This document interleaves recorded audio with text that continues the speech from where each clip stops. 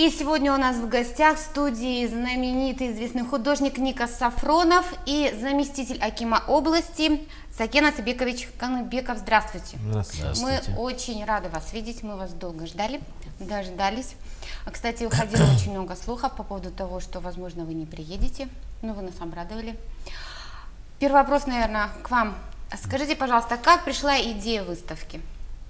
Нет, сама э, выставки идея, в принципе, вот пришла буквально недавно. Мы вот э, буквально месяц назад с России приезжали, у нас художники приезжали. И вот у нас как бы это появилось такое вот, э, э, у нас э, буквально на днях открытие было где-то вот 6 месяцев назад э, галереи, где вот прошел полный капитальный ремонт. И этот самый, в связи с этим мы хотели вот чуть-чуть поразвивать этот, видимо, вот этот сам отрасль. И вот э, к нашему счастью приехал Ника Сафронов. Э, вчера вечером, вернее, вы позавчера ночью, да, прилетели, да? Под утро прилетели? Да, да. Под утро прилетели. И вчера была встреча была с Акимом области. Именно там как раз в этой галерее была выставка Ника Сафронова. Более 150 работ э, там было показано. Естественно, для юга это впервые, надо сказать, действительность, это вот а, для южан это, мне кажется, одно из самых таких значимых событий. Действительностью посетили порядка уже все, которые именно занимаются этой творчеством. Вот э, максимально, я так думаю, уже порядка там, наверное, 90%, наверное, которые любят вот, э, живопись, они вот э, посещали. И вчера вот с участием Акима области было. Это вот, я считаю, что это в первую очередь сама инициатива была со стороны вот вашей, вас была, наверное, инициатива, вот ваш директор арт, директор Наталья. Ну вот да, Христенко, но да, все-таки приглашение было с вашей стороны, выставки а, министр, да, да, да. прошло 10, mm. это десятая выставка, и после нее она уходит в другую страну. Вот, прошла в Казахстане по таким как Алматы, э, конечно, Астана, Караганда. И вот. Я не везде приезжаю, я приезжаю только э, третий раз вот сюда, э, на эту выставку. Это город третий э, в стране, в республике. Я думаю, что э, было удачно все как бы совмещено и открытие нового зала. Э, а по музея. поводу галереи, а, скажите, для художника вообще важно какой галерее? Ну, конечно, конечно. Я вообще не выставляюсь не в государственных музеях. У меня нет задачи, это ничего идет, это идет творческий процесс, идет обмен как бы э, искусствами, творчеством. Сегодня были вот студенты э, лицея Костеева, Костеева да. э, где-то 150 до 200 человек. Я давал мастер-класс, и, и талантливые дети, и, и те, кто начинает только в творчестве себя проявлять. Э, вот, в этом музее. Ну, это приятно, что город работает над тем, чтобы э, искусство здесь процветало. Э, они берут самых знаковых людей, приглашают, я знаю, Киркоров, и сейчас э, будет приезжать и Меладзе. То есть какие-то знаковые люди посещают. У нас есть задачи, мы говорили с таким областью.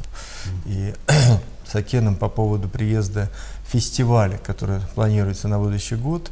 Просит меня поддержать и помочь. Вот. И, возможно, приедет Софи Лорен, возможно, приедет Руткер Хауэр или там э, известные знаковые голливудские звезды. Э, э, так будет наверное, такой международный фестиваль. И это тоже приятно, что э, отцы города, вы знаете, вот моя мама говорила, что имеем мы не ценим, потерявши плачем. Вот надо дорожить тем, кто сегодня работает у власти, и те, кто делает все для города, для страны. То, что в таком, как бы, в городе большом, но в то же время не центральном, развиваются такие бурные события творческие, где происходят какие-то важные ключевые моменты.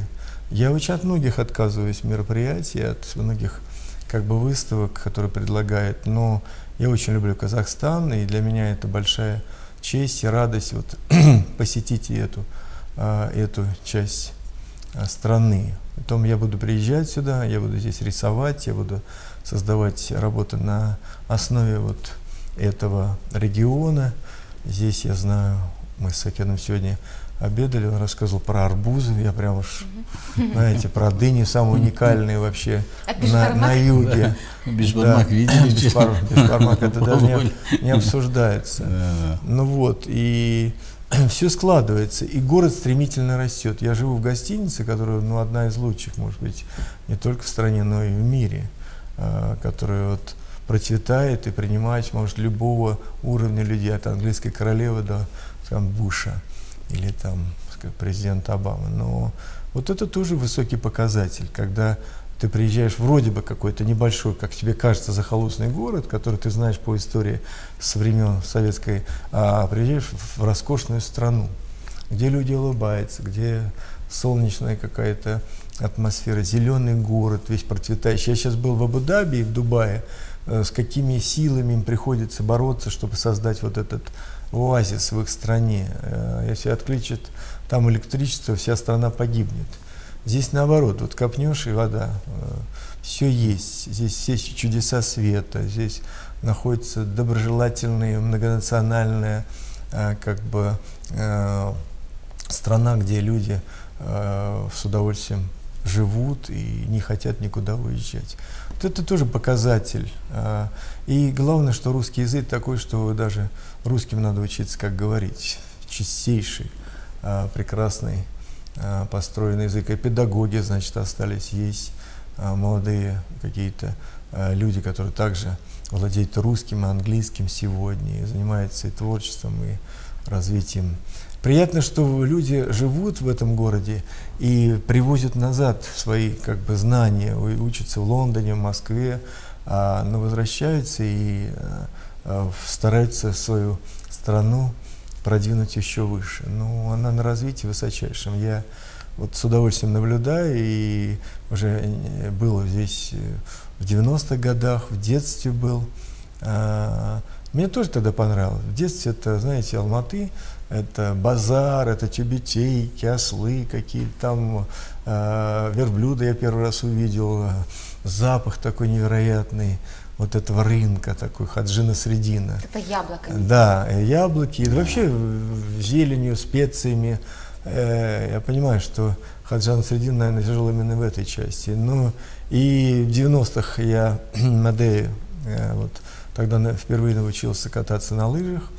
И вот сейчас я приехал уже с выставками а, а, по приглашению Назарбаевой, э, руководителя этой страны, и был ошеломлен. Я был наблюдателем недавно на выборах.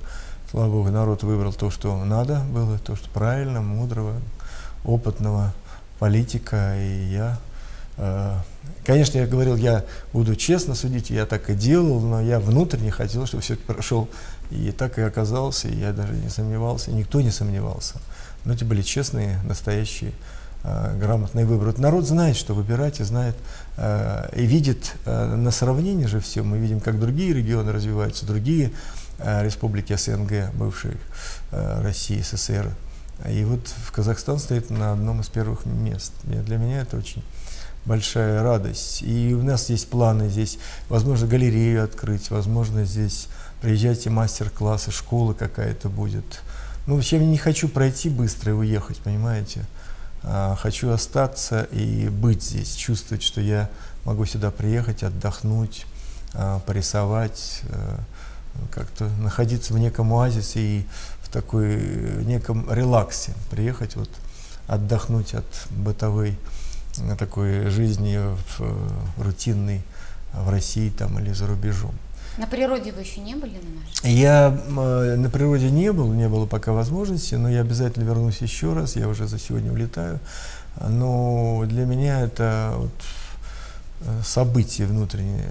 Если для тех, кто пришел сегодня на мастер-класс, для них событие, но для меня также событие не меньше, чем э, для них.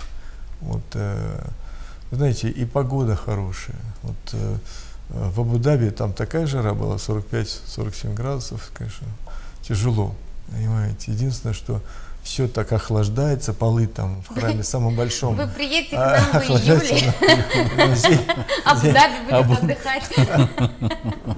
Ну, ничего, ничего. Зимой все время думаешь о тепле, а летом думаешь о прохладе. Главное, чтобы в гостиницах было прохладно, кондиционер работал, а так мы выдержим. Вы знаете, все самое важное – это люди. Я вот приезжаю в Петербург, знаете, мне очень нравится этот город, и когда вечер, люди смеются, студенты, кафешки, вот только все заканчивается, уходят свинцовые тучи, эти здания такие ужасные, смотрящие оттуда, смотрят какие-то лица э, дьяволов, там, чертей, и сразу становится тоскливо очень.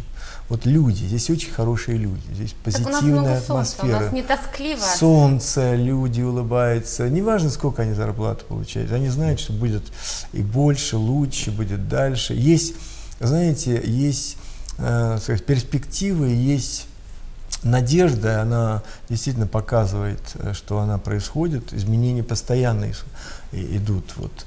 А, кстати, у вас самый лучший музей э, вот, э, из всех, где я был в Казахстане отреставрированы. Не хватает чуть-чуть там специального света, может быть, но это такие тонкости, их нет вообще во многих странах мира. Но вот если это еще дополнительно когда-нибудь сделают, подсветку специально, чтобы она работала на картины, ну это вообще будет уникально. Хорошие художники. И главное, знаете, приятно, нет предвзятости, нет ненависти, нет зависти, нет... Вот и Союз художников э, дал мне академика, и э, предлагает помочь с мастерской, и какой-то скульптор мне сделал памятник здесь, казахский, и этот памятник должен стоять в Ульяновске, а я пока против, вот борюсь с этим внутренним еще состоянием, что как-то памятник при жизни, но в Ульяновске сделали аллею, там вот такая улица Ника Сафронов, и, и я только сказал в разговоре, в беседе с одним а, скульптором, с группой а, молодых, так сказать, талантливых студентов, связанных с живописью и архитектурой, и вдруг раз уже стоит скульптура. Но для меня тут приятно, здесь а, все настроено на, на прогресс, на позитив, на вот, доверительность. И казахи при всей их, так сказать, опытности, мудрости и некой такой лукавством, таком э, природном, но при этом очень э, сердечные, очень открытые, очень душевные и очень сентиментальные. Вот к ним хорошо, они тебе в тысячу раз делают. Вот это Восток, понимаете, еда какая роскошная. Мы сегодня за обедом говорили по поводу с Акеном а, в Америке, как едят, но просто нет культуры. В метро, в лифте едят, все течет, Кошмар. В машинах, за рулем. В, в Англии, древнейшая страна, сказалось, с богатейшей культурой, тоже нет культуры, понимаете, вообще никакой. А здесь есть культура еды. Понимаете, вот это... А, я тут встречался с одним шейхом в Дубае, а у вас нет козы? Он говорит, что вы, что вы, лошадей?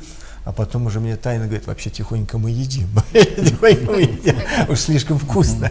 Так что все не так, понимаете, все, что хорошо, к сожалению, природа так устроена, что иногда приходится, ну вот, пользоваться плодами. Вы знаете, вообще мир сам по себе, сам по себе отстал еще. Он питается и пользуется, ну даже ракеты летают на а, трупах животных. Нефть, это разложившаяся же много миллионов лет назад а, трупы животных. И на этом мы как бы летаем в космос. Пока еще мир несовершенен. Но вот его надо сохранить и приумножить, и сделать его более красивым. И вот такие маленькие такие оазисы в мире, такие как Казахстан, и дают веру в то, что будущее будет прекрасно. Понимаете, где-то воюют, где-то... А вот Казахстан всегда открыт, Назарбаев всегда демократичен, всех всегда пытается примирить. Я даже делал э, Меркель и этого Аллана, чтобы подарить, и даже взял какую-то картину, 54 э, год, украинский художник, там Веча, и а, на картине написано «С Россией, с Москвой навеки навсегда украинский народ». Сейчас воюет, понимаете. Вот Казахстан делает все, чтобы примирить всех, чтобы они жили в дружбе и в согласии. И мне это очень приятно, понимаете. Вот они являются некими дипломатами и соединителями между другими даже нациями. Да. Можно вопросы Надо. задать? Да. Дело в том, что мы попросили наших телезрителей прислать нам вопросы. Всех интересует ваша да. личность. А первый вопрос. В каком возрасте вы провели свою первую персональную выставку? Я уехал после э, армии э, в Поневежес, и там в кинотеатре в одном, это был 76 год, сделал первую свою выставку. Вот. Потом была вторая в Вильнюсе, вторая в музее уже. Э, и я продал картины. Э, знаете, вот художники, они часто бывают романтиками. Они вот там ждут вдохновения, они ждут, когда им так приятно, они рисуют, все на них смотрят, ах. На самом деле это огромный труд, это огромная тяжелая рутинная работа, это обязательность, это духовность, это профессионализм.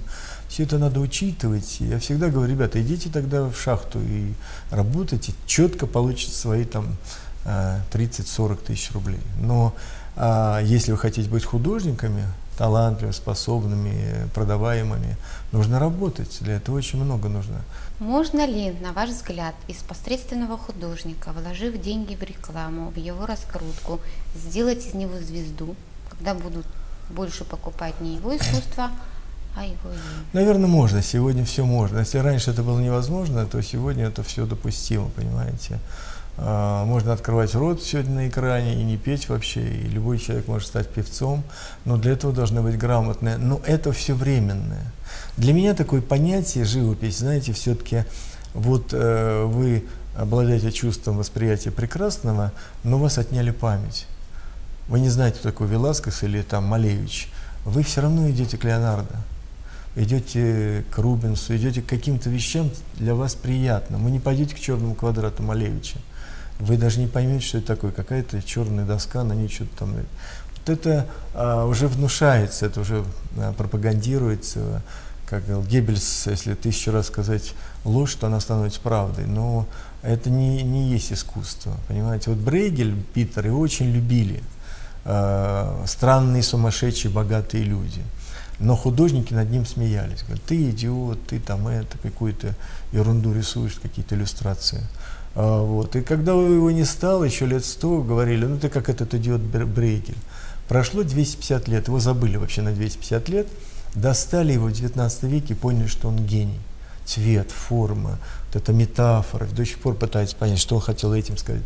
Этим сказать. Вот искусство должно быть таким, чтобы через тысячу лет, открыв просто мир, открыв, как бы, как бы он за куполом был не, невидимым, ты идешь к тому, что тебе приятно. Идешь к красивой девушке навстречу, идешь к красивому зданию и так далее, и идешь к красивой картине, которая тебя радует, вызывает у тебя какие-то эмоции. А раскрутить можно что угодно, но оно должно быть все время муссированным, понимаете? Для кого пишет художник? А, для людей. В советское время, вот когда мы еще были молодые, была такая пословица – если два друга в Грузии не увидели твоей машины, она еще не куплена.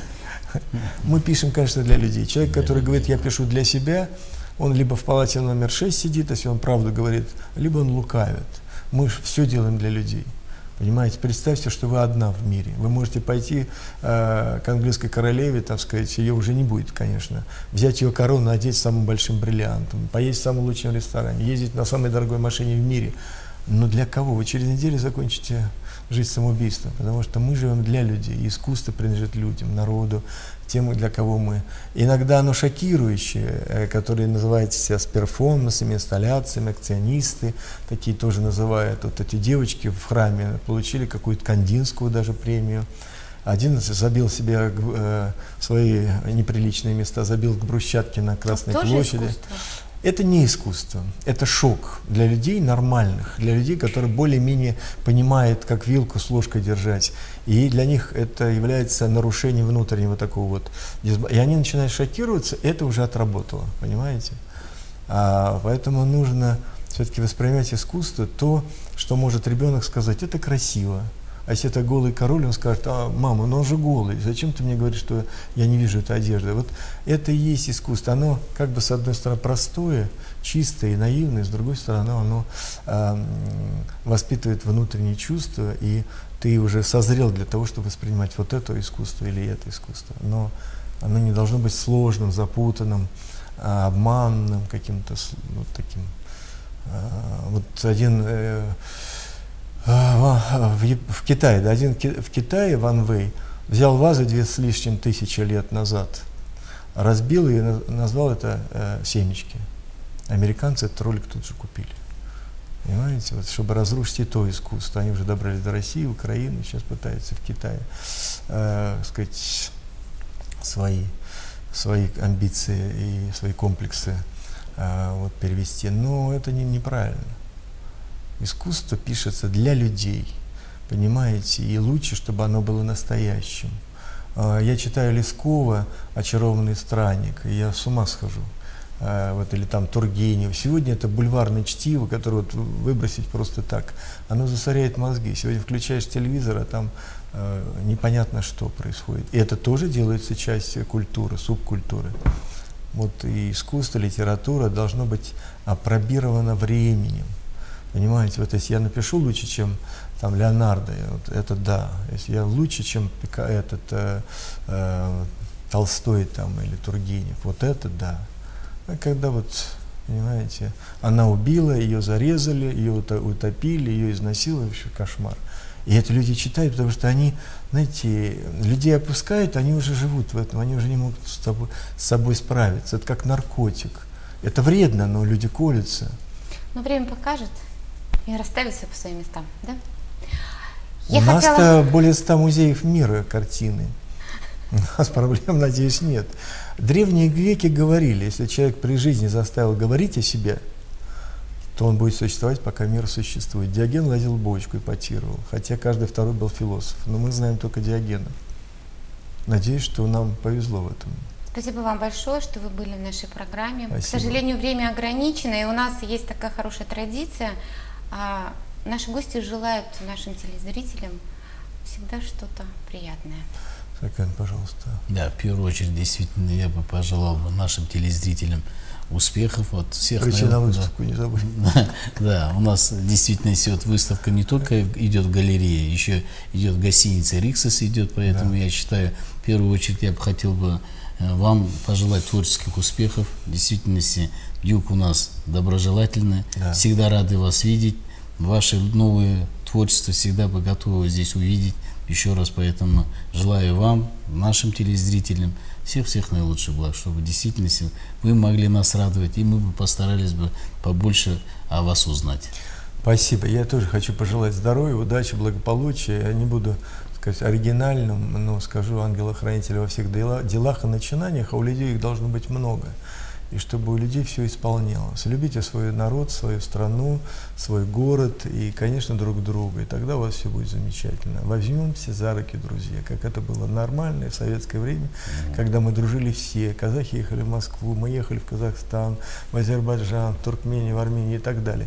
И все жили нормально, все были счастливы. Может быть, не так богаты, как в Америке, зато у нас все было. У нас была любовь друг к другу, уважение, что сегодня теряется. В Казахстане это есть. Вот и вы делаете все так, как нужно, правильно. И, слава Богу, СМИ поддерживает это, и идет все на позитив. Удачи всем и храни вас Бог.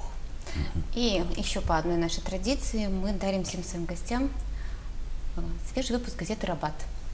Все, мы рады. Балуете вы нас, вы так разоритесь на нас. Мы э, получаем еженедельно, как положено, читаем здесь все свежие новости, да? ежедневные, которые вот у нас происходят на юге. Поэтому ну, спасибо огромное. Творческий успех вам тоже. Спасибо. Да.